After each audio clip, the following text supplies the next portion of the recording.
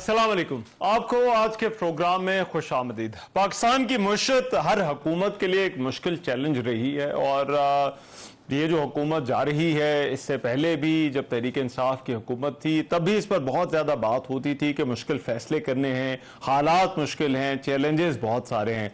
बहरहाल, अब ये बड़ा अहम मौका आ रहा है कि हुकूमत जो है वो जाने वाली है और हुकूमत अपने अख्तियार तफवीज़ करके जा रही है निगरान हुकूमत को। और निगरान हुकूमतों के हवाले से भी एक बड़ी आम पेशरफ हुई कि उनके अख्तियार भी जो है वो उसमें उनको वसत दी गई है। और माहों पर बैन अवी माहों पर अमल दरामद के हवाले से उनके पास इख्तियार होंगे।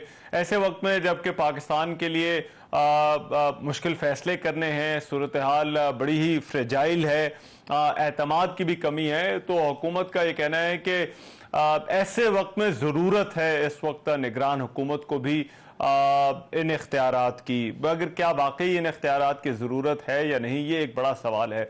और दूसरा आम बात कि इस हुकूमत की मुआशी कारकर्दगी कैसी रही?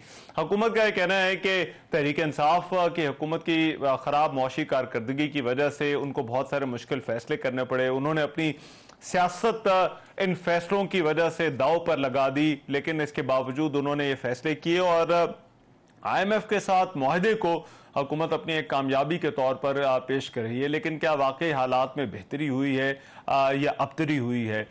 ये भी देखना है। क्योंकि बहुत सारे ऐसे मामला हैं जो लोगों के लिए बड़ी मुश्किल का बायस बने ख़ास तौर पर महँगाई का जो इशू है।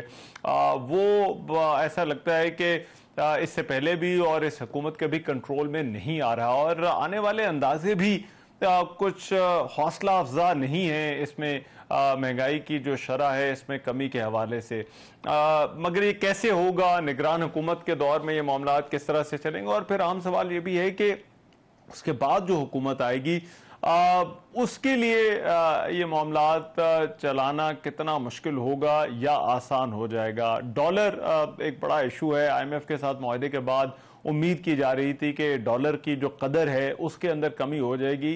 रुपए की कदर में इसकाम आएगा लेकिन मार्केट में अभी तक वो नज़र नहीं आ रहा। इसकी आ, क्या वजह हो सकती है कि माहे के बावजूद ऐसा नहीं हो रहा?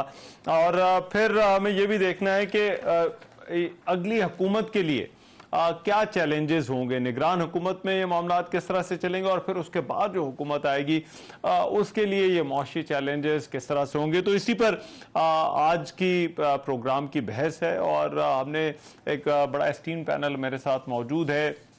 मीशतदान है मीशत को समझते हैं उनसे इन मामला पर बात होगी। मेरे साथ जो आज की बहस में मेहमान ज्वाइन कर रहे हैं हारून शरीफ साहब सबक बोर्ड ऑफ़ इन्वेस्टमेंट के चेयरमैन रह चुके हैं। वो मेरे साथ मौजूद हैं, doctor Khaqan Najeeb sahab again an expert on economy ये हमें जो है वो ज्वाइन कर रहे हैं लिंक के ज़रिए और मुजम्मिल असलम साहब तर्जुमान रह चुके हैं वजारत ख़जाना के तहरीक इंसाफ के दौर में इकानमी के एक्सपर्ट हैं, तीनों मेहमानों का बहुत शुक्रिया और मैं गुफ्तु का आगाज़ मुजम्मिल असलम साहब, आपसे मैं करना चाहता हूँ। सबसे पहले तो मेरा ख्याल है ये जो अभी हालिया चेंजेस हुई हैं, कवानीन के अंदर तब्दीलियाँ की गई हैं, निगरान हुकूमतों को इख्तियार कुछ दिए गए हैं मुशी इख्तियार आपको लगता है कि वाकई पाकिस्तान में जो निगरान हुकूमत आने वाली है, उसको इस मौके पर, इस वक्त इन इख्तियार की ज़रूरत है? मैं ये समझता हूँ कि मैंने इसहाक डार साहब को बोलते हुए सुना। उन्होंने ये कहा कि मुल्क जिस तरह माशी सूरत हाल से गुजर रहा है, वो नब्बे दिन जो है जो है जो है एक निगरान हुकूमत जिसके पास कोई इख्तियार ना हो तो उसका मुतहमल नहीं है। तो सवाल का पहला जवाब तो ये कि आप नब्बे दिन क्यों कर रहे हैं? आप पूरी मुद्दत करके साठ दिन पे जो है ये कहानी कर लें जब आप खुद कह रहे हैं हम्म। कि मुतहमल नहीं हो सकता। तो ये जानबूझ के क्यों आप दो चार दिन पहले जो है इसको डिसॉल्व कर रहे हैं? दूसरी बात यह कि जब साठ दिन पे आ जाती है बात तो कोई ऐसी कोई बड़ी बात नहीं है। साठ दिन के अंदर मामला खत्म हो जाएँगे। हम्म। तीसरी बात यह कि देखें पाकिस्तान में ना अब जैसे स्टेट बैंक इंडिपेंडेंट हो गया। अब स्टेट बैंक अपनी माशी पॉलिसी ठीक है। डिपेंडेंट है। वो एक्सचेंज रेट क्या होना चाहिए हम्म। सूद क्या होना चाहिए? इसी तरीके से बिजली बढ़ाने के लिए भी हुकूमत है पाकिस्तान बढ़ाती है तो नेपरा अप्रूव करती है। ठीक है ना? और उसके लिए कोई कानूनी असेंबली से पास नहीं कराना होता तो वो तो केयर टेकर भी कर सकती है। और नेपरा जो है खुद मुख्तार इदारा है बकौल हमारे सारे लोगों के इसी तरह ओगरा है वो पेट्रोल और गैस की कीमतों में खुद मुख्तार है। वो कीमतें जो है वज़ीर आज़म हाउस को भेजता है वज़ीर आज़म उसको अप्रूव करती है उसके लिए भी कोई कानून साजी की ज़रूरत नहीं है। इसी तरह चौथा एक इदारा F B R F B R भी जो है अपने आप में काफ़ी हद तक खुद मुख्तार है और बजट जब पास हो गया तो एफ़ बी आर का काम है उन उन चीज़ों पे टैक्स लेना। अगर इनकेस उसको कोई एस आर ओ जारी करना होता है वो करते रहते हैं। और उसकी बेसिस वो एक सौ अस्सी दिन बाद बात पास करा लीजिएगा। एस सी सी पी एक पांचवा इदारा है। एस सी सी पी जो है वो भी खुद मुख्तार है। उसके लिए भी कोई ज़रूरत नहीं है। अब रह गई प्राइवेटाइजेशन तब प्राइवेटाइजेशन एक ऐसा सेंसिटिव मामला है कि अगर ये केयर टेकर आके उसको भेज दे कोई चीज़ तो वो मैं समझता हूँ कि कौमी असासे को इतना आसानी से नहीं बेचना चाहिए क्योंकि उसमें दो चीज़ होती है। एक तो असासा है उसके बाद जो हम्म। वहाँ पे मुलाजमत में लोग हैं। और तीसरी चीज़ ये कि किस तरीके से आप उसको बेच रहे हैं उसके टर्म्स एंड कंडीशन क्या है। तो वो मैंने सुना था कि वो बीच में अगर कोई प्राइवेटाइजेशन की या कोई सरमायाकारी की चीज़ आए तो वो अप्रूवल दे दे। तो ये एक नुकसान हो सकता है मुल्क को और मैं इसको समझता हूँ कि अच्छा। उसकी ज़रूरत नहीं है। तो ओवरऑल लेकिन आपको क्या समझ आती है? ये क्यों किया गया? देखिए सवाल तो इस वक्त यही है। उनका ये कहना है कि गलती की गुंजाइश नहीं है और खासतौर पर ऐसे वक्त में जब एतमाद की कमी हो और हम कोशिश कर रहे हैं कि कहीं ना कहीं से जो है वो पैसे आए तो इसलिए हुकूमत का यह कहना है कि ये करना जो है वो ज़रूरी था। लेकिन आपको क्या समझ आती है आ, ये इस वक्त क्यों किया जा रहा है? देखिए अगर ये आईएमएफ का बहाना बना रहे हैं कि आईएमएफ का जो है वो गलती की गुंजाइश नहीं तो आईएमएफ ने इस दफ़ा नौ महीने का प्रोग्राम डिज़ाइन ही ऐसा किया है कि ये हुकूमत के अंदर सारे एक्शन पूरे हो जाए। अब उसको इम्प्लीमेंट कराना है। तो मैं नहीं समझता कि कोई आईएमएफ का कोई मसला होगा और आईएमएफ अंडरस्टैंड नहीं करेगा अगर एक दो महीने तीन महीनों पर नीचे होगा क्योंकि आप कानून साजी तो यहाँ तो मुझे नहीं नज़र आ रहा मुझे ऐसा शक लगता है कि अगर इलेक्शन हाँ। तीन महीने में या दो महीने में नहीं होते आ, वो हल्का बंदी की कोई प्रॉब्लम आ जाती है हम्म। या एक्स वाई प्रॉब्लम आ जाती है तो अच्छा। वो जो है ये मामला आगे चले मुझे ये शक लगता है इसके अलावा मुझे कोई ग्राउंड पे जस्टिफिकेशन नज़र नहीं आती आपस की बात। है अच्छा। और अपने इधारों को मुख्तार करें तो इस चीज़ से भी हम निकल जाए। ठीक। है हारून शरीफ साहब आपकी क्या इस पर टेक है? क्या वाकई निगरान हुकूमत को ज़रूरत है? आ, ये जो आ, अमल दरामद के हवाले से बैन अवी माहों पर अमल दरामद के हवाले से आ, कि वो इकदाम कर सकें और इसलिए ये कानून साजी आ, इस वक्त जो है वो इसकी कुछ ज़रूरत भी है अब, जबकि हम ट्रांजिशन के फ़ेज़ के अंदर जा रहे हैं। जी, जहाँ तक मल्टीलेटरल इदारे हैं, वो तो पाकिस्तान को इस फ़ेज़ में बहुत दफ़ा पहले भी देख चुके हैं, और उनकी जो डीलिंग होती है, वो कोई ऐसी पॉलिटिकल लेवल की डिसीशन मेकिंग तो निगरान हुकूमत ने करनी नहीं है। तो मेरा नहीं ख्याल कि ये जो चेंजेस लाई गई हैं, इसका कोई मल्टीलेटरल इदारों से ताल्लुक है। और हमें इस चीज़ को, खासतौर पर हुकूमत के नुमाइंदगान को पब्लिक के अंदर बोलना भी नहीं चाहिए। क्योंकि जो आईएमएफ भी जो डील करता है, वो मिनिस्ट्री ऑफ़ फाइनेंस के ब्यूरोक्रेट से करता है, स्टेट बैंक के गवर्नर से करता है, उनको कोई प्राइम मिनिस्टर के साइन नहीं चाहिए होते अपने एग्जिस्टिंग प्रोग्राम को इंप्लीमेंट करने के लिए। अब आते हैं, जो मेरी समझ में आ रही है और इसकी मुझे तो अच्छी खासी क्लैरिटी है ये जो हमारे कुछ दोस्त ममालिक हैं खास तौर पे गल्फ में वो इस वक्त पाकिस्तान के अंदर कुछ एसेट्स को एक्वायर करना चाह रहे हैं। एसेट से मेरा मतलब है कुछ कंपनीज़ के शेयर्स हैं एयरपोर्ट्स की बातचीत है क्योंकि ये डायलॉग मैंने खुद शुरू किया था चार साढ़े चार साल पहले इनके साथ। तब मैं उनसे इन्वेस्टमेंट हम्म। हम लोग कर रहे थे। अब जो आपने देखे हैं तीन चार ट्रांजैक्शन जो पोर्ट की हुई है तो ये एक लीज की बात हो रही है। तो ये गालबन जो मेरी समझ आ रही है ये ट्रांजैक्शन इस वक्त इस लेवल पे है कि हुकूमत नहीं चाहती कि उसके अंदर रुकावट आए और उसकी जो फैसला साजी है उसका एक अलहदा कानून है जिसको inter governmental commercial transaction act 2022 कहा जाता है। ना तो वो प्राइवेटाइजेशन एक्ट का हिस्सा है वो एक फ़र्क कानून बनाया गया इसीलिए कि गवर्नमेंट टू गवर्नमेंट जब हम डील करेंगे उसको फास्ट ट्रैक कैसे करना है और उसके ऊपर जो है ड्यू डिलीजेंस के जो प्रोसेस हैं उनको खासा थिन कर दिया गया है और ब्रोक्रेसी को साइड लाइन किया गया है तो ये कुछ डील्स हैं जो चल रही अच्छा। हैं एयरपोर्ट्स की लीज है कुछ पोर्ट्स की बात है कुछ कंपनियों के शेयर्स को प्लेस करने की बात है तो गालिबन उसको हम्म। कायम रखने के लिए ये कानून साजी की जा रही है और आपको लगता है कि ये ये फैसला इन्हीं दिनों में होने वाला है, क्योंकि इसके लिए ऐसा जो है वो शायद तासुर इससे बन रहा है कि इंतज़ार नहीं किया जा सकता, या अगली हुकूमत के आने का इंतज़ार नहीं किया जा सकता। जी, मेरा ख्याल है कि ये हुकूमत का ख्याल था कि अपने टेन्योर के अंदर फाइनलाइज कर लेगी। वो नहीं कर पाई। अच्छा। अब वो इस लेवल पे है कि जो इनके दोस्त ममालिक हैं उन्होंने उनसे कहा कि जी अब ये काम रुकना नहीं चाहिए इस पर काफ़ी काम हो चुका है। तो उनको कंफर्ट देने के लिए ये कानून साजी की गई है।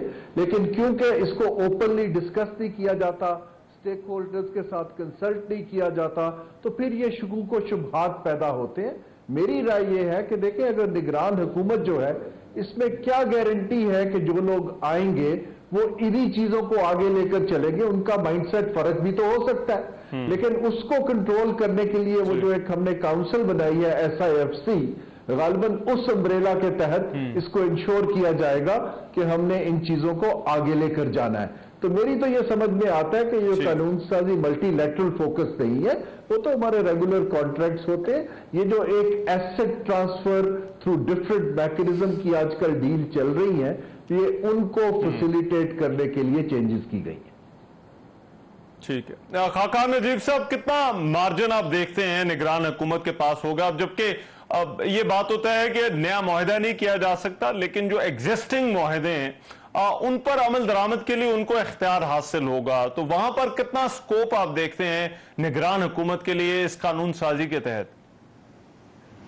Rahman thank you for having me so पहले तो हम समझते हैं कि अमेंडमेंट है क्या? अमेंडमेंट ये है कि जहाँ कानून में ये लिखा हुआ है या आइन में ये लिखा हुआ है कि आप मैनेज कर सकते हैं जो अर्जेंट मैटर्स हैं। अब आप कई मैटर्स को अर्जेंट नहीं समझेंगे। मैंने दोनों केयर टेकर जो लास्ट रहेंगे उनके साथ चूँकि काम किया है। तो मुझे अंदाज़ा होता है कि जब वो आते हैं तो उनका माइंडसेट यही होता है। कई दफ़ा मैं उनको कहता था कि हमें कुछ काम करने चाहिए। तो उनका माइंडसेट इमीडिएटली रिएक्शन का ये होता था कि ये अर्जेंट है खाकान कि नहीं है urgent so I am now telling you कि एक्चुअली ऑपरेशनली कैसे ये चीज़ संभलती है। अब जब आप एक बड़ी ही डिफरेंट सिचुएशन में है इसको समझने की ज़रूरत है क्योंकि आईएमएफ का प्रोग्राम पाकिस्तान में समझते बहुत थोड़े लोग हैं तो वो उसको बहुत डिफरेंटली डील करते हैं। इसीलिए पाकिस्तान ने 23 में से 21 प्रोग्राम जो है वो इनकम्प्लीट छोड़ दिए एक तो इसमें ये एम्पावरमेंट क्लियरली की गई है कि आप मल्टीलैटरल और बायलैटरल पार्टनर्स से डील कर सकते हैं जो ऑन गोइंग चीज़ें की हुई हैं उनको कंप्लीट कर सकते हैं। आईएमएफ का प्रोग्राम ऑन गोइंग है उसकी कंप्लीशन के लिए अभी मैं आपके सामने रखता हूँ क्या करना पड़ेगा उनको। इसी तरह बायलैटरल्स के साथ काम हो रहा है। मसलन अभी आपने चाइना का सुना है ना कि हमने एक रीप्रोफाइलिंग की है। लेट से कि कोई रीप्रोफाइलिंग सितंबर या अक्टूबर या नवंबर जब वो है ड्यू होती है तो आपको वो रीप्रोफाइलिंग करनी है पैसे वापस जाने हैं पैसे आने हैं। याद रखिए कि अगले ये जो 9, 10, 12 माह हैं इसमें disbursement of planned external financing IFIs के साथ भी और बायलैटरल क्रेडिटर्स के साथ भी ये पाकिस्तान को डिफ़ॉल्ट से दूर रखे हुए हैं। सो so ये काम उन्होंने बड़ी क्लियरली करना है सो so ये पहली इंपावरमेंट आई। दूसरी इंपावरमेंट ये आई कि आपने फॉर एग्जांपल अब ये अच्छा इसी में देख लें कि होगा कैसे। आ, इनको ये भी इंश्योर करना है कि सितंबर 30 अगर लेट से 10 12 को हुकूमत जाती है अगस्त को तो उनको एक महीना 20 दिन जाकर पढ़ना है। और चूँकि कोई पढ़ता नहीं है पाकिस्तान में कि क्या लिखा हुआ है एमईएफपी में मैं यकीन से कहता हूँ कि बहुत कम लोगों ने एमईएफपी को पढ़ा होगा। शायद जो इस वक्त और या आने वाले होंगे उनको पढ़ना है। पढ़ के उन्होंने समझना है कि क्या क्वांटिटेटिव टारगेट्स हैं क्या इंडिकेटिव टारगेट्स हैं क्या क्राइटेरियाज हैं क्या ऑन गोइंग स्ट्रक्चरल बेंचमार्क्स हैं। अब उनकी मैनेजमेंट करनी है। याद रखिए बगैर मैनेजमेंट के ये पूरे नहीं होंगे। और जैसे आप 21 दफ़ा पहले कर चुके हैं रहमान कि चूँकि ये पूरे नहीं होते थे तो लोग पूछते हैं फंड का प्रोग्राम क्यों नहीं होता? ये इसलिए नहीं होता। इसके दो तरीके हैं। या तो आप एक प्रोफेशनल टीम लाएँ। प्रोफेशनल टीम हम ला नहीं सकते बिकॉज़ हम यू you नो know, हमारा माइंडसेट गियर्ड नहीं है उस तरफ़। या जो केयर टेकर एफएम या पीएम या एनर्जी का मिनिस्टर है वो इसको मॉनिटर कर रहा हो जिस तरह मैंने आपके सामने रखा है। अगर आप नहीं करेंगे तो एक और इनकम्प्लीट प्रोग्राम आपका बन सकता है। आप पिछला प्रोग्राम इनकम्प्लीट छोड़ के आए हैं। जरा समझने की कोशिश कीजिए और आपके पास रूम ये करने का नहीं है। अब अब जब मैंने इतनी चीज़ें आपके सामने रखी जब मैं केयर टेकर एफ़ या पीएम के साथ लेट से पीएम के साथ ये डिस्कस करता हूँ तो मुझे कहेगा यार आप मुझे इतने काम कह रहे हैं ये सारे काम अर्जेंट हैं। ये अर्जेंट भी हैं और ये करने वाले भी हैं क्योंकि 30 सितंबर को ये सब चीज़ें मीट होनी है जो मैंने आपके सामने रखी हैं। इसके अलावा वो सारे रीप्रोफाइल्स ऑफ़ डेट्स होने हैं जो मैंने आपके सामने रखे हैं। ये तो एक चीज़ है। अभी तीन चीज़ें और आपने करनी है जो ऑन गोइंग है जो नॉन डेट साइड में है। वो क्या है? आपको इस वक्त कुछ पैसे आने की उम्मीद दो जगह से बंधी हुई है। उस पैसों को आप छोड़ नहीं सकते। हम्म। आपने आर्टिकल पढ़ा है जो अगर कोई नॉन डेट क्रिएटिंग पैसे आ रहे हैं पाकिस्तान मैं प्रिवी नहीं हूँ कि वो एग्जैक्टली exactly क्या है या उसकी डिटेल आई है नहीं आई है। आप उन पैसों को सिक्योर हम्म। करें वो कोई भी हुकूमत हो। और ब्यूरोक्रेटिक चैनल से भी निकालने के लिए ये इन्वेस्टमेंट काउंसिल का काम है।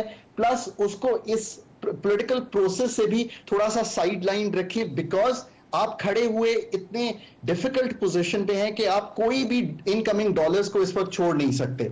तो वो काम भी आपको साथ हाँ, साथ सो ट्रिपल पी अगर कोई पब्लिक प्राइवेट पार्टनरशिप होती है पर उससे ज़्यादा मैं समझता हूँ जो इंटर गवर्नमेंटल ऑर्डिनेंस है उसके अंदर आपको स्पेसिफिकली कह दिया गया कि अगर आप कोई काम करना चाहते हैं तो कर लें। लेट से कि कोई प्रोजेक्ट मच्योर होता है। तो we can move ahead with this वरना आप यकीन करें कि केयर टेकर के लिए इसमें मूव अहेड करना I would have said as caretaker finance minister कि यार ये तो बड़ा लॉन्ग टर्म काम है ये हमारे लिए करना मौजूद नहीं होगा अच्छा। अब आपने क्लियरली कह दिया है और जो एस आई एफ़ सी है वो उसको तकबीयत दे रही है उस चीज़ सो आप और आखिरी चीज़ जो है उससे मैं नहीं अच्छा। करता। वो ये कि कहना कि बहुत लॉन्ग टर्म कोई प्राइवेटाइजेशन हो जाएगी जहाँ हमने कई दिहाइयों में इतनी बड़ी कोई प्राइवेटाइजेशन अच्छा। नहीं की है। I I I am not sure कि हम वो कर पाएँगे। अगर कोई चीज़ इन दी ऑफिंग है तो मे बी लेट सी क्यों आने वाले दिनों में दिखाई दे लेकिन आपका आर्गूमेंट ये है कि इस वक्त मामला ऐसे हैं कि खास तौर पर जो है वो बायोलेटरल मामला जहाँ से हमें पैसे आने की उम्मीद है वहाँ पर ये इख्तियार देने की ज़रूरत है। अब मुझे एक ब्रेक पर जाना है। एक ब्रेक के बाद वापस आते हैं तो मीशत से जुड़े कुछ इन्हीं मामला पर बात होती रहेगी। एक ब्रेक के बाद प्रोग्राम में एक मरतबा फिर से खुश आमदीद। मुल्क मीशत पर बात हो रही थी। मुजम्मिल असलम साहब, अब ये तो आई एम एफ़ तो तमाम सियासी पार्टियों से जो है वो मिलकर गया था और वहाँ पर ये गारंटीज भी ली गई हैं पीटीआई की तरफ़ से भी ये गारंटी दी गई है तो फिर भी आप समझते हैं ये स्टॉप गैप अरेंजमेंट के तौर पर जो है वो इसकी ज़रूरत है इस वक्त? नहीं, मैं तो आपको पहले कहता हूँ कि बिल्कुल ज़रूरत नहीं है। और आईएमएफ ने बोर्ड मीटिंग से पहले सारे प्रायर एक्शन मुकम्मल कराए थे। अभी इकतीस जुलाई को जो है स्टेट बैंक की मीटिंग आप देखेंगे, उसमें भी कुछ जो है एक्शन नज़र आएँगे हमें। शायद हो सकता है कि शरह सूद बढ़े। बिजली की कीमत आपने देख लिया कि वो भी बढ़ा दी गई है। दूसरा बात, ये खतान जो कर रहे हैं एम e की बड़ा क्लियर है। आईएमएफ ने जो हमें जो बताया, हमने तो डायरेक्ट बरह रास्त मीटिंग की है। वो चार पॉइंट्स पे इस प्रोग्राम को जो है उन्होंने रखा है। नंबर एक, जो बजट का अनाउंसमेंट हो गई है, उसको कोई चेंजेस नहीं होगी, उस पर रद्दबदल नहीं होगा। उस पर अमल कराना है नंबर एक। बजट अनाउंस हो चुका है। नंबर दो, उन्होंने कहा कि करेंसी मार्केट में कोई छेड़खानी नहीं होगी अब। मार्केट अपने फंडामेंटल से चलेगी। हम्म। वो अमल हो चुका हुआ है। नंबर तीन, उन्होंने कहा कि इंपोर्ट रिस्ट्रिक्शंस को खत्म करेंगे आप। वो अमल हो चुका है। इम्पोर्ट रिस्ट्रिक्शन के ऐलान हो चुके हैं, खत्म हो चुकी है। नंबर चार, उन्होंने कहा कि एसओईस और एनर्जी सेक्टर अब ये ट्रिकी है एनर्जी सेक्टर की तो बिजली की कीमतों की ऐलान हो गए गैस का भी शायद आजकल में हो जाएगा। अब रह गया एसओई जो लॉस मेकिंग एंटिटी है, उसमें उन्होंने कहा कि आप काम शुरू करें और उसको जो है क्या करना है, बेचना है, खरीदना है, जो भी करना है। वो मैं समझता हूँ कि केयर टेकर के आप वो एसओईस के क्या बोर्ड ऑफ़ डायरेक्टर चेंज करेंगे और उसको जो है बगैर हिसाब किताब के भेज देंगे। एक छोटी सी ट्रांजेक्शन भी होती है ना अगर तो उसकी भी ड्यू डिलीजेंस होती है शेयर परचेज एग्रीमेंट होता है वो करते करते एक साल लग जाता है। तो ये दो से तीन महीने में क्या ऐसा जादू का चराग होगा कि इन्वेस्टर भी आ जाएगा ले भी जाएगा? उसमें भी ट्रांसपेरेंसी नहीं होगी भाई। और फिर साथ अकाउंटेबिलिटी का क्लॉज लगाए ना अगर कोई ऐसी चीज़ हो गई और ये बेच बिचा के चलेगा लेकिन मेरा ख्याल है वो शायद इसके लिए कोई अरेंजमेंट इन प्लेस रखना चाह रहे हैं कि व्हाट इफ़ अगर कोई आ जाए? नहीं नहीं गलत है ना। देखें आप ऐसे कैसे दे हम्म। सकते हैं? मैं मैं डिसएग्री करता हूँ। विदाउट मतलब ये से कि, हम्म। कि इसमें कोई बैड इंटेंशन होगी या कोई मतलब करप्शन का मैटर होगा। मैं ये समझता हूँ कि इस तरीके से डिस्पोज अच्छा। ऑफ़ नहीं होना चाहिए। और खास तौर पे आपको ये भी नहीं पता कि आपका जो केयर टेकर आएगा वो कितना कॉम्पिटेंट होगा। और आपका फाइनेंस मिनिस्टर कितना कॉम्पिटेंट है वो चीज़ों को कितना समझ सकता है इसमें बाकायदा नेगोशिएट होती है चीज़ें। तो बगैर नेगोशिएट किए ये वो उठा के फेंक देना एसेट्स को। ये नेशनल एसेट है कोई अपनी अपनी चीज़ को इस तरह नहीं देता। तो मैं यहाँ पे डिसएग्री करूँगा कि ज़रूरत ही नहीं है इस चीज़ की। बाकी आई डोंट नो अल्लाह जाने के वक्त बताएगा अच्छा। ट्रांजेक्शन रहेंगी कि किसके पीछे क्या राज है। ये क्यों फैसले किए गए? अरुण शरीफ साहब एक बड़ा इशू महँगाई का है। आ, इस ट्रांजिशन के फ़ेज़ में आप किस तरह से देखते हैं? हुकूमत ने अभी भी जो रिपोर्ट दी है कुछ दिन पहले उन्होंने कहा है कि महँगाई के अंदर कमी होगी लेकिन ये जो बिजली की कीमतें बढ़ी हैं गैस की कीमतें बढ़ाने की भी इतलात है। आपको लगता है कि ये महँगाई वाला मसला हुकूमत के कहीं कंट्रोल में आएगा और ख़ास तौर पर ये इस हकूमत से जब हम निगरान हुकूमत में जाएँगे तो वहाँ पर कुछ कमी की उम्मीद की जा सकती है? जी ये जो हुकूमत है जो जा रही है ये तो जो स्टेटमेंट्स दे रही है ऑब्वियसली ये इलेक्शन ओरिएंटेड स्टेटमेंट्स है। इनमें सब्सटेंस नहीं है। जो निगरान हुकूमत है मैं थोड़ा सा इसको लाइटर टोन में बात करूँ। कि आप 90 डेज़ के अंदर उनसे क्या एक्सपेक्ट कर रहे हैं? कि वो महँगाई भी कंट्रोल कर लें वो प्राइवेटाइज भी कर दे एसेट ट्रांसफ़र भी कर दे फंड प्रोग्राम भी करे इलेक्शन भी कराए। मेरा मतलब अगर ऐसी एफिशिएंसी पाकिस्तान के अंदर होती तो फिर तो गालबन निगरान हुकूमत से अच्छी हुकूमत कोई और है ही नहीं कि तीन माह में हो जाए। देखिए हमें तरजीहात बनाने की ज़रूरत है कि निगरान हुकूमत के मेरे हिसाब से एक तो पहली बात तो यह है कि निगरान हुकूमत किसी भी अब सिविलाइज कंट्री के अंदर होती ही नहीं है। इदारे मज़बूत होते हैं हाँ। वहाँ पर काम होती है। मुझे समझ नहीं आता कि इतना फैनफेयर पर्क्स प्रोटोकॉल प्रिविलेजेस और इतनी हाइप क्यों क्रिएट की जा रही है। आप एक छह बंदों की काउंसिल बनाएँ जो ओवरसी करें और इलेक्शन कराएँ और खुदा ऑफ़िस गए लेकिन चले अब आप बना रहे हैं और हर चीज़ को पोलिटिकल करना एक गलत डिसीज़न है। बहुत सी चीज़ें टेक्निकल लेवल की हैं। अब आपकी बात आती है उनके हिसाब से तीन तरजीहत होनी चाहिए। नंबर वन ऑब्वियसली उन्होंने इलेक्शन की तरफ़ एक पूरी तवज्जो देके ट्रांसपेरेंसी दिखानी है और फ्री एंड फेयर इलेक्शन को इंश्योर करना है दूसरा काम उनका यह है अच्छा। कि एक वाइट पेपर बनाए इकोनॉमिक जिसके अंदर ऑप्शंस हो उसको मल्टीलैटरल इदारों से और बाकी लोगों से कंसल्ट करें और वो पेपर तैयार हो ताकि जब नई हुकूमत आए तो आप आगे का उनको एक लाया अमल दे सकें और वो नया प्रोग्राम साइन करें और आगे चलें उन ऑप्शंस के ऊपर। अगर ये दो काम कर जाते हैं तो रहमान ये बहुत बड़ी बात है। तीसरी चीज़ है महँगाई। अब जो महँगाई के ऊपर जो है उसके अच्छा। ऊपर काम करने के लिए मुझे जो अगला फाइनेंशियल ईयर जो चल रहा है जून से जून इसमें तो इन्फ्लेशन नीचे आती दिखाई नहीं दे रही। और जैसा कि इंडिकेट किया गया है we might actually have, you know, a, a slight uh, monetary policy upward revision for that क्योंकि महँगाई कंट्रोल नहीं हो रही है। अब ये जो कोऑर्डिनेशन है महँगाई की जो सप्लाई चेन्स के इशू है जहाँ पर मिडिल मैन पैसे खा रहा है इंपोर्ट के ऊपर डिपेंडेंस है रुपए की कमज़ोरी है ये तो नब्बे दिन में कंट्रोल नहीं हो सकता मेरे हिसाब से लेकिन ये ज़रूर है अच्छा। और ना ही वो कोई नई सब्सिडी दे सकते लेकिन- हैं जो बजट के अंदर चेंजेस नहीं की जा सकती है। तो मेरा ख्याल ये एक्सपेक्ट आपको लगता है क्योंकि बहुत ज़्यादा हौसला अफजा नहीं है इन्फ्लेशन को कंट्रोल करने के लिए जो इकदाम है? खाकान अजीब से कपल्ड विद दैट उसमें अभी एक और बड़ी तशवीशनाक जो हमने इंडेक्स देखा वो ग्लोबल हंगर इंडेक्स में पाकिस्तान की रैंकिंग थी। निन्यानवे नंबर पर जो है वो हम चले गए। इंतहाई शदीद गजाई अदम तहफ़ का शिकार हमारे लोग हैं। अब पी एम एल एन ये कहती है कि हमारा मुकाबला जो है वो इस आने वाले इलेक्शन के अंदर जो है वो महँगाई के साथ होगा। अब ये कितना गैर मामूली है आ, हंगर इंडेक्स में हमारा ये नंबर और आ, फिर ये महँगाई वाली सूरत हाल। देखिए रहमान इसको हम ओवरऑल अब तनाजुल में लेते हैं इकोनॉमी के। पाकिस्तान की इकोनॉमी के जब तक हम फंडामेंटल्स नहीं ठीक करेंगे हम महँगाई को नहीं ठीक कर सकते। अब इससे मेरा क्या मतलब है? देखिए आईएमएफ का जो प्रोग्राम है ना ये तो एक ब्रिज है टू गेट टू समवेयर और वो गेट टू समवेयर ये है कि ये जो इस वक्त डिफ़ॉल्ट का खतरा है वो टल जाए आप कुछ डेट्स ले लें कुछ थोड़ी सी तदबीर ऐसी कर लें कि बजट में जिन पे टैक्स लगा हुआ है बढ़ा दें एक्सचेंज रेट में बहुत टिंकरिंग ना करें हम्म। मतलब ये बहुत छोटे जिसे कहेंगे ना इंटरवेंशन हैं या ये छोटी मेजर्स हैं जिनसे हम्म। आप सेल थ्रू कर जाएँ और दुनिया आपको कहे कि आप जाके आप असल काम करें कई दिहाइयों से हम असल काम जो है उसकी करने की तरफ़ अभी आ नहीं रहे बात यह है कि जिस तरह ये अच्छा। है ना कि हम कोई पेपर लिखे हैं केयर टेकर या कोई असल बात यह है कि वो तो पॉलिटिकल पार्टीज़ का काम है। और पॉलिटिकल पार्टीज़ को ही अपने अंदर थिंक टैंक्स बना के ये काम करना है। अगर आपने इसको सीरियसली करना है अब महँगाई कैसे नीचे आएगी? चलें अब हम्म। इसको लेट से कि आपने ये कहा कि हमने दो तीन साल में पाकिस्तान में प्राइसेस का जो बढ़ना है उसको ठीक करना है। तो देखिए ना नंबर एक तो ये है कि अपनी पैदावारी सलाहियत को बढ़ाना शुरू कर दें। अगर आप उसी एग्रीकल्चर से बेहतर हील्ड्स लेना शुरू कर देंगे तो महँगाई ठीक हो जाएगी। नंबर दो महँगाई एडमिनिस्ट्रेड हम्म। प्राइसेस से आ रही है। वो क्या है? वो है आपकी पावर और गैस आप सारे डिस्कोस को जाकर बेच दें अच्छा। आप सारे जेनकोस को जाकर बेच दें और आप उसमें एफिशिएंसी क्रिएट करना शुरू करें।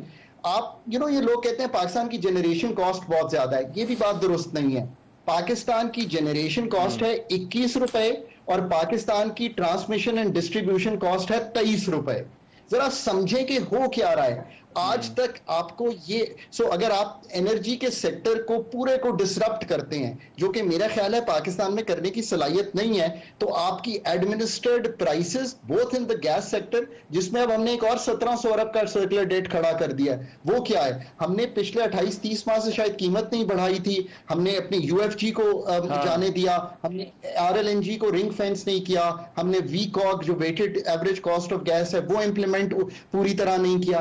ये मतलब चीज़ें तो आपके सामने हैं। आप ये सारी चीज़ें अगर करेंगे तो आपकी ये दूसरी चीज़ हल हो जाएगी। अब अगर आप इन दो को हल करेंगे तो एक तीसरी चीज़ ये है कि पैदावारी सलाहियत बढ़ेगी ना तो एक्सपोर्ट बढ़ेगी। हाँ। जब एक्सपोर्ट बढ़ेगी ना Rehman this is the most important thing तो इंपोर्टेड इन्फ्लेशन मुल्क में हम्म। टूट जाएगी। अब आप कहेंगे वो क्यों टूट जाएगी? वो इसलिए टूट जाएगी कि रुपए की कदर ने तभी मुस्तकम होना है जब पाकिस्तान ने दुनिया को 28 अरब डॉलर नहीं बल्कि 60 अरब डॉलर की एक्सपोर्ट हम्म। करनी है तो रुपए की कदर ये हैं असल अच्छा। काम करने वाले आप ये तीनों काम करेंगे वरना ये जो स्मगलिंग है ये जो होर्डिंग है और और आखिरी काम सॉरी जो मैं भूल ना जाऊँ ये, ये तो फायर फाइटिंग हुई हाँ और दूसरा गवर्नमेंट को जो प्राइस सेटिंग्स कर रही है ना गवर्नमेंट फॉर एग्जांपल वीट की कीमत गन्ने हाँ. की कीमत इन चीज़ों से निकल जाना चाहिए। इसलिए निकल जाना चाहिए कि एक हाँ. जगह हम निकले हैं फॉर एग्जांपल राइस मार्केट में। तो हम दुनिया भर में राइस बेचते हैं राइस की पाकिस्तान में भी शॉर्टफॉल नहीं आती राइस की कीमत भी हम जो है वो संभाल लेते हैं। सो so, सोचें कि जहाँ पे ये चीज़ें ठीक चली हैं। सो so, तीन चीज़ें अगली हुकूमत ने करती अच्छा। हैं। आप मुझसे आप कहते हैं हम अगले अगले तीन चीज़ों का प्लान है वो तीन चीज़ों में से अगर आपको पाँच साल में कुछ भी दिखाई अच्छा। दे तो आप मुझे पाँच साल बाद दोबारा इंटरव्यू कर लीजिएगा आप कहेंगे कि बेहतरी हो गई अच्छा। डीरेगुलेट करना है लिबरलाइज करना है मार्केट को हम्म। और डाइवेस्ट करना है एक ब्रेक लेते हैं ब्रेक के बाद वापस आते हैं तो मीशत से जुड़े कुछ और बड़े अहम इश्यूज़ हैं जिनके ऊपर प्रोग्राम के अंदर बात प्रोग्राम में ब्रेक के बाद एक मरतबा फिर से खुश आमदेद। ब्रेक पर जाने से पहले मीशत से जुड़े कुछ सवाल पर बात हो रही थी, उसी गुफ्तु को जारी रखते हैं। इमीडिएट कंसर्न इस वक्त मुजम्मिल असलम साहब, ये अफरात जर की शराह है। अब गवर्नमेंट का जो अपना एस्टिमेट था बजट में, वो तो बीस इक्कीस फ़ीसद के करीब है। आई एम एफ़ की रिपोर्ट को छब्बीस फ़ीसद पर जो है वो ले की बात कर रही है लेकिन आपको क्या लगता है कि अब जबकि मामला आगे बढ़ रहे हैं तो ये जो अफरात जर की शराह इसके कुछ नीचे आने की उम्मीद रखी जाए? और खासतौर पे ये जो हमारे रूरल अर्बन डिवाइड है अब इसमें भी तो कहा जा रहा है कि जो हमारे रूरल एरियाज़ हैं वो भी इससे बचे नहीं हुए। जी रहमान भाई सबसे पहले तो एक अवामी बात कर लेते हैं। एक अफरात जर होती है अवामी जो। मैं और आप और एक आम आदमी के लिए होती है और एक होती है इकोनॉमिस्ट के लिए अफरात इकोनॉमिस्ट की जो अफरात है ना अगर हम उसको आम आदमी को बोले कि जी नीचे आ रही है महँगाई तो वो जूतियाँ पकड़ के मारता है मैं ये मैं एज ए तर्जुमान भी बता रहा हूँ एज एनालिस्ट भी बता रहा हूँ। क्योंकि वो आम आदमी हम्म। कहता है उसकी डेफिनेशन महँगाई की ये होती है कि अगर सौ रुपए किलो आटा उसने लिया है अगर 110 रुपए किलो हो गया है तो वो कहता है कि मेरी महँगाई हो गई। ठीक है जी? हुकूमत ये कहती है हुकूमत बेस इफ़ेक्ट उठा लेती है। और हुकूमत जैसे अभी मिसाल दे देता हूँ इसहाक डार साहब ने कौम को मुबारकबाद दी थी कि महँगाई अड़तीस फ़ीसद से तीस फ़ीसद हो गई है। तो ये जो ये जो ये है इकोनॉमिस्ट की महँगाई का पैमाना वो ये कहती है कि पिछले साल महँगाई की रफ्तार अड़तीस फ़ीसद थी अब वो रफ्तार कम होकर तीस फ़ीसद हो गई है यानी कीमतें नीचे नहीं आई रफ्तार में कमी आई है। इसीलिए आम आदमी जब टीवी देखता है अखबार पढ़ता है और जब वो पढ़ता है कि महँगाई की शरह मुल्क में कम हो गई है तो वो कहता है कि मेरा बजट तो बढ़ रहा है और इन ये कह रहे हैं कि महँगाई कम हो गई है। तो इसलिए इस साल हुकूमत ने अभी जो है अपना महँगाई का तखमीना रखा है इक्कीस फ़ीसद और आई एम एफ़ ने रखा है पच्चीस अशारिया छह फ़ीसद। इसका मतलब ये आम आदमी को समझाने के लिए कि जो अभी वो सौ रुपए खर्च कर रहे थे ना एक साल के बाद उनको एक सौ इक्कीस रुपए खर्च करने पड़ेंगे वही चीज़ खरीदने के लिए। यानी कि उनके लिए इक्कीस फ़ीसद महँगाई और बढ़ जाएगी। लेकिन हुकूमत क्या कहेगी कि पिछले साल देखें अड़तीस फ़ीसद महँगाई थी अब सिर्फ़ इक्कीस फ़ीसद है। तो आपको समझ आया फ़र्क ये तो महँगाई तो बढ़ रही है और इस वक्त मैं आप और मैं आपको अपने तजर्बे से बता सकता हूँ कि जो इस दफ़ा इस महीने से बिजली के बिल आना शुरू हुए हैं आम आदमी मिडिल क्लास आदमी अपर मिडिल क्लास आदमी। सब परेशान है। तीस तीस चालीस चालीस फ़ीसद बिजली के बिल आए ऊपर लोगों को समझ नहीं आ रहा कि इसको ऑफसेट किससे करें अपने राशन से करें कुछ और चीज़ से करें। ये जो अभी आए हैं ये वो साढ़े सात रुपए वाले इजाफे के बगैर अभी आए हैं। उसका अभी अभी होना है। गालिबन अभी। जी वो होना है। तो इस वक्त जो है खुदा ना खास्ता आप समझते हैं कि public is on the brink of breakdown और क्योंकि क्योंकि नई आमदनी के वसाइल नहीं बन रहे रोज़गार नहीं आ रहा क्योंकि रोज़गार बेरोजगारी भी आठ इशारिया पाँच फ़ीसद इस साल हुई है। तो वो जो और कारोबार भी बंद तो ये तमाम चीज़ों के बाद और फिर टैक्सेस इतने लग गए नए ये अलग है टैक्सेस तो पब्लिक जो है इस वक्त जिनके पास सेविंग है वो अपनी बचत खा रहे हैं और जिनके सेविंग नहीं है वो बहुत ही ज़्यादा जिसे कहते हैं परेशान है।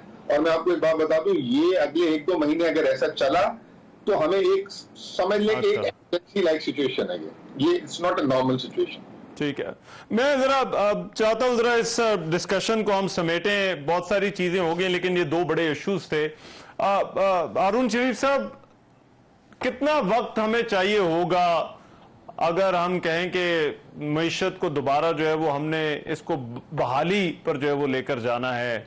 इसको दोबारा कम से कम इसका जो है वो आ, कुछ हमने जो है वो सिमत इसकी जो है वो दुरुस्त करनी है। और ये जो पिछले ये जो अब हुकूमत जब जा रही है तो इनका जो डेढ़ साल का अरसा है इनके दौर में आप किस तरह से देखते हैं? क्या मामला कुछ बेहतरी की तरफ़ गए हैं या मामला और ज़्यादा अबतरी की तरफ़ या डाउनहिल जो है वो चले गए? जी ये जो डेढ़ साल का इनका टाइम है जहाँ तक इनकी डीलिंग है मैक्रो स्टेबलाइजेशन की आईएमएफ के साथ तो आईएमएफ की रिपोर्ट तो इन ए वे क्वाइट इनके ऊपर चार्जशीट है कि आपने मार्केट के साथ भी प्ले अराउंड किया है आपने बजट की सैंक्टिटी को भी ऑनर नहीं किया है। तो इसके बाद ही आप देखिए वज़ीर आज़म के लेवल पे खुद इंटरवेंशन करनी पड़ी तो और श्योरिटीज देनी पड़ी तो आगे बात चली। तो वहाँ पर तो अ, मुझे अफसोस के साथ कहना पड़ता है कि हमारी इकोनॉमिक मैनेजर्स जो हैं वो उसको एक ऐसन तरीके से नहीं डील कर पाए। जहाँ तक इनका ताल्लुक है अ, मई- कोई माशी कोई मेजर मुझे डेढ़ साल में पॉलिसी पेपर भी नहीं दिखाई दिया जैसे इंडस्ट्रियल पॉलिसी आ जाती यू नो ज़रात की पॉलिसी आ जाती। हाँ कुछ चीज़ों के ऊपर जो इनको आती भी है इन्होंने इंफ्रास्ट्रक्चर के ऊपर काम किया है कुछ सड़कें मुझे दिखाई दे रही हैं कुछ विजिबल चीज़ें हैं वो वो वो ज़रूर दिखाई देती हैं जो कि लोगों को एक होप देती है शायद कि कुछ काम हो रहा है। जहाँ तक सूरत हाल है मीडियम टर्म की देखिए तीन स्टेजेस है मीशत की। हमें बड़ा क्लियर होना पड़ेगा कि एक से दो साल हमारा ये एडजस्टमेंट और स्टेबलाइजेशन का पीरियड है। और तैयारी का पीरियड है कि अब हमने फ्यूचर स्ट्रक्चरल शिफ्ट कहाँ लेनी है सिंध किस तरफ़ लेके जानी है। दूसरा अब हमारा तरीका यह है कि अब हमें जीडीपी ग्रोथ को सस्टेनेबल रखना है, पाँच फ़ीसद से सात फ़ीसद के रेंज में, जिसको तीन से पाँच साल लग सकते हैं। तो हमारा रफली पाँच साल एक इकोनॉमिक रिवाइवल का प्लान होना चाहिए, लेकिन ये तब ही हो पाएगा जब आप इदारों को मज़बूत करके वहाँ कॉम्पिटेंट लोग लाएँगे उनको आप अथॉरिटी देंगे डेलीगेट करेंगे। जब आप पॉलिटिकल इंटरफेरेंस करते रहेंगे सेकंड गेस करते रहेंगे लोगों को बदलते रहेंगे और इस तरह मार्केट्स को एतबार नहीं आता है। इस अचानक हमारी क्योंकि बेसलाइन इतनी लो है एक या दो अच्छी ट्रांजैक्शन से एक फील गुड का फैक्टर लाने की ज़रूरत है जो आ जाएगा।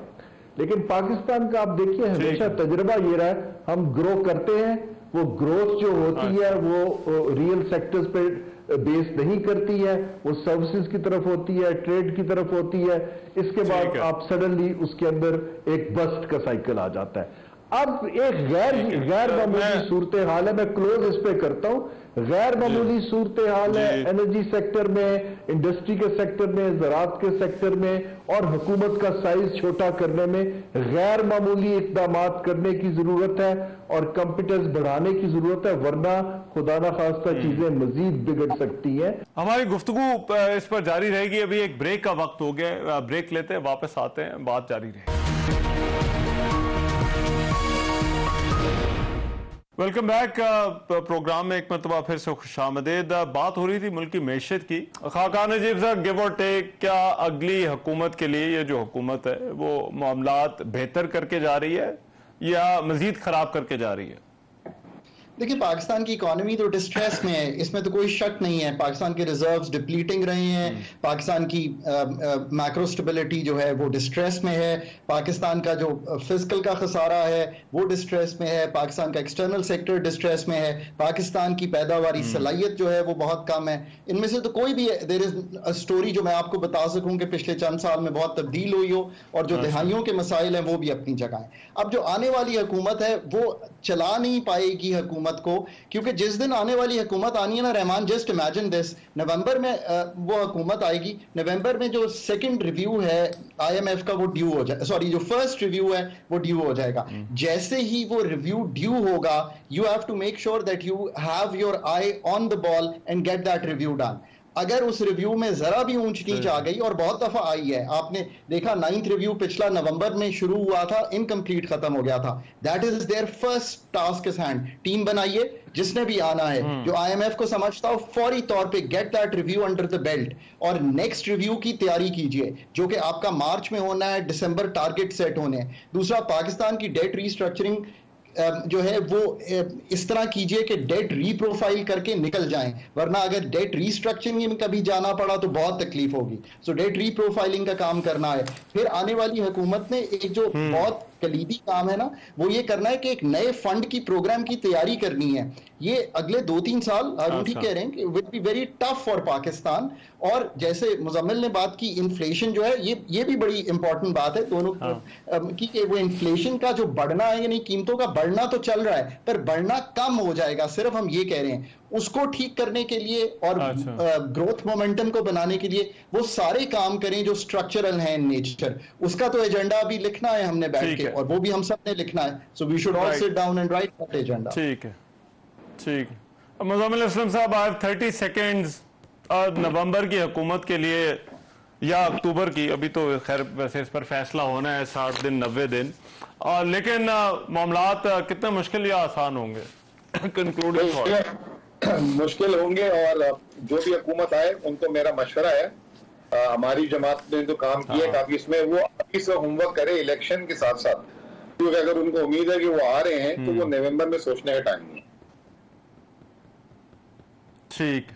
राइट बहुत शुक्रिया मुजम्मल असलम साहब हमारे साथ मौजूद थे, हारून शरीफ साहब और डॉक्टर खाकान नजीब साहब हमारे साथ मौजूद है लेकिन ऐसा लगता है कि पाकिस्तान में ये निगरान हुकूमत हो या उसके बाद जो आने वाली हुकूमत है, ये मुशी चैलेंजेस जो है वो बड़े मुश्किल हैं और कुछ बड़े मुश्किल फैसले हो सकता है हुकूमतों को भी करने पड़े और आवाम के लिए भी जो है वो मुश्किल टाइम है। बहरहाल दुआ करनी चाहिए कि कोई आसानी हो। आज के प्रोग्राम से इतना ही। मेज़बान अजहर को इजाज़त दीजिए। अल्लाह ने के बाद।